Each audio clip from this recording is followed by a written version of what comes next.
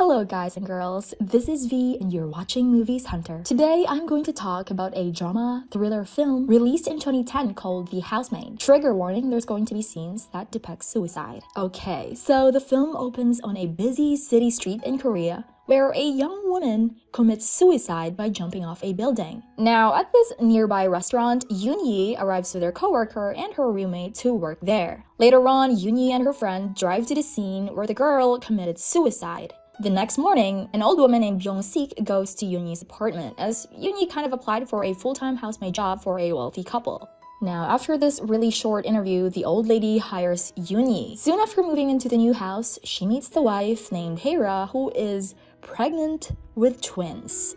Wow. Now she welcomes Yoon-yi and tells her what is expected of her. Byung-sik is also like a housemaid who has been looking after Hera since she was a child. Now the next morning, Yoon-yi meets the couple's young daughter, Nami, who returns from her school. Oh, I love her name. Since Yoon-yi's job is also to take care of Nami, she tries to connect with her. At night, while having dinner, Nami tells her mother that she likes Yoon-yi and she would like her to stay. Later, the husband, Hoon, returns home. The couple is impressed with Yoon-yi's hard work and decides to hire her permanently. The next morning, Byung-sik and Yoon-yi prepare breakfast for the couple. Yoon-yi then goes to serve Hoon, who is playing the piano. Yoon-yi is feeling a bit attracted to him, but she controls herself. She has now become comfortable with the family and helps Hera shower, does her nails, and so on. Now at night, Hoon returns home and heads straight to the bathroom to shower, but finds Yoon-yi cleaning the tub.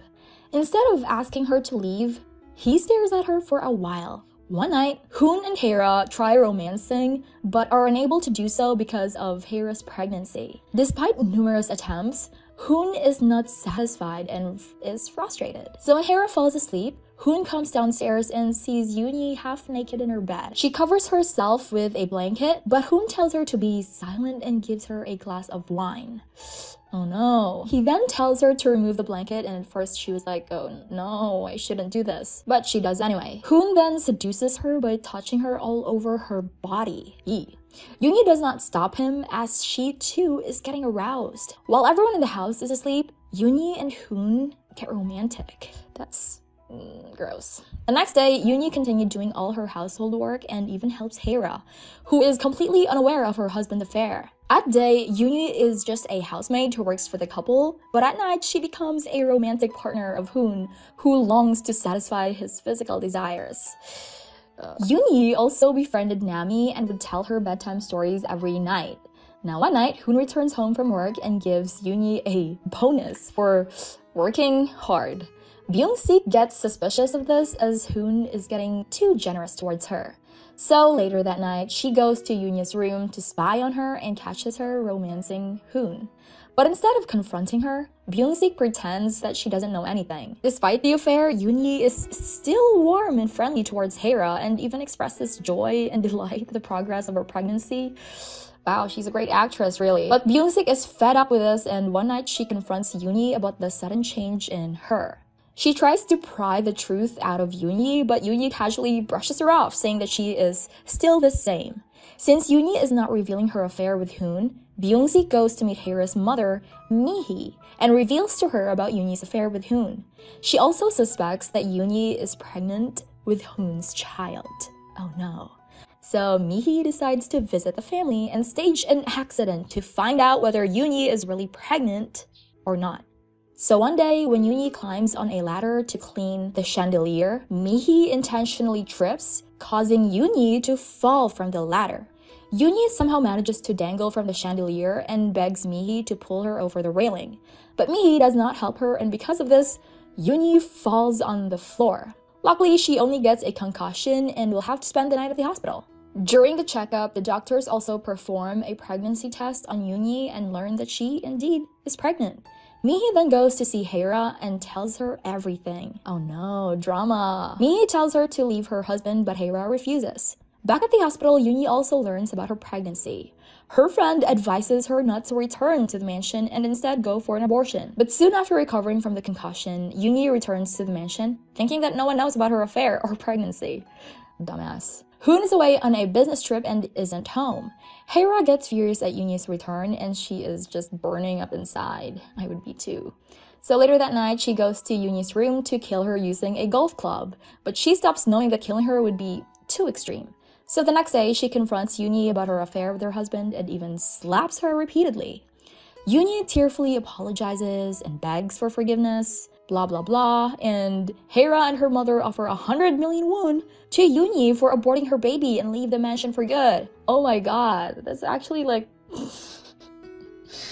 Where do I get these kind of offers? Come on, man. She's lucky. Now, although Yoonyi accepts their offer, she's rich, Hera knows that Yoonyi is not going to abort her baby for money so easily. After seeing Yoonyi bullied by Hera and her mother, Byung-sik has a change of heart and tells Yoonyi not to leave, not until she gets proper closure with Hoon. Yoonyi struggles to decide whether to abort the child or not, but after talking to Nami, Yoonyi develops this strange urge to raise a child like her and decides to keep the baby. So Hera decides to take matters into her own hands and poisons the herbal medicine packets that Yoonyi drinks every day. Oh no. So one day, Hera and Nami leave for the hospital as Hera is about to give birth to twins.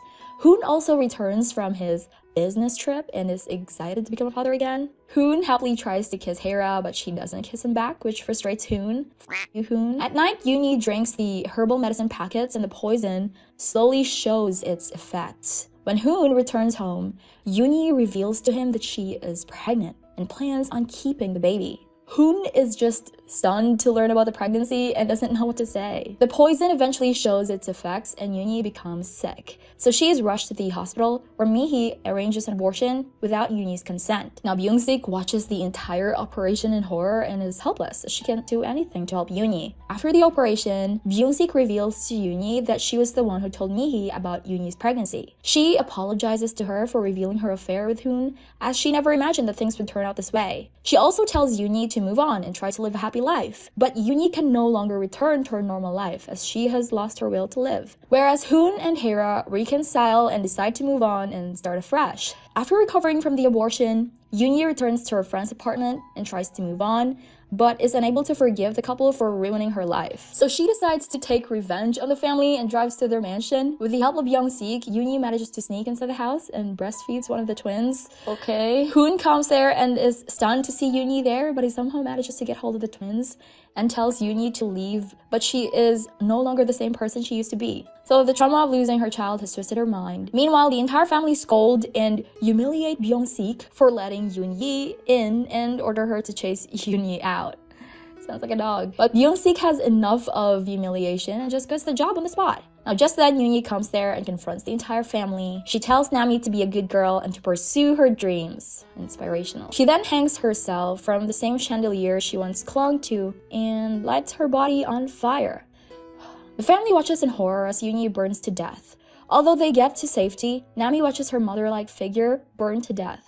I'm just honestly scared and sad for Nami. The traumatic thingy that she has to overcome after this is just that's just bad. Time passes by and the family move to a new place where they are celebrating Nami's birthday. They have hired new housemates and seem to have completely forgotten the incident.